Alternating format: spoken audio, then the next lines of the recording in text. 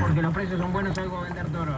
Eh, no, hay que planificar dos años para atrás. Eh, ni los más optimistas, ni los más visionarios. Mirá la vía cómo está en esta lo que sí que tenemos buen cartel en Merino eh, bueno,